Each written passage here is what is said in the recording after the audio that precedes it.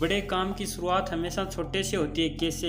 एक और एग्ज़ाम्पल सुनिए। आपने सुबवे रेस्टोरेंट का नाम तो ज़रूर सुना होगा, लेकिन क्या आपको पता है इसके ओनर फ्रेड डेलुका है? इस बिज़नेस को करना ही नहीं चाहते थे, बल्कि वो तो एक डॉक्टर बनना चाहते थे, लेकिन पैसों की तंगी से वो ऐसा नहीं कर पाए। उनकी ऐसी हालत देखकर करीबी दोस्त पीटर ने उसे एक हज़ार डॉलर दिए और एक दुकान खोलने की सलाह दी। इस दुकान में सैंडविच बेचना शुरू किया और एक दुकान से एक रेस्टोरेंट खोला और एक रेस्टोरेंट से हज़ारों रेस्टोरेंट खड़े कर दिए।